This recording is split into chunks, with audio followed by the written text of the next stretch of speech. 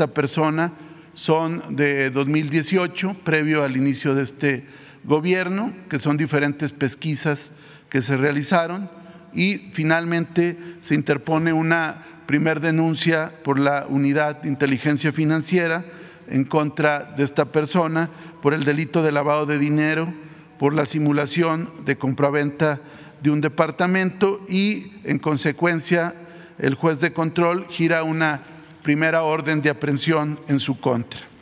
En contra de esta orden de aprehensión, García Cabeza de Vaca promueve una demanda de amparo indirecto que conoció el juzgado octavo en Tamaulipas y en paralelo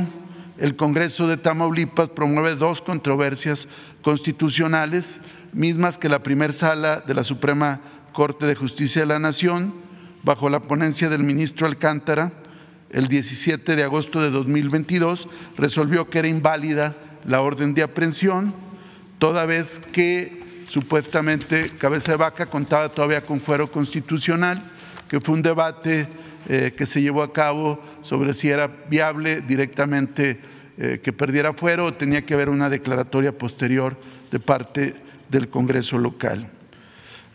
También señalar que el propio Cabeza de Vaca por estos hechos interpuso también una denuncia penal en contra del juez que promovió la primer orden de aprehensión.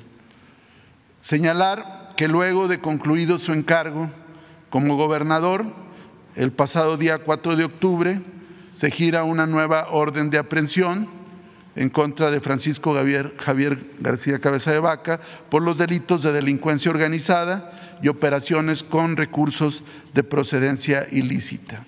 Como es eh, un procedimiento en estos casos, el Instituto Nacional de Migración emitió una ficha roja alerta migratoria para evitar la fuga o la sustracción de la justicia de García Cabeza de Vaca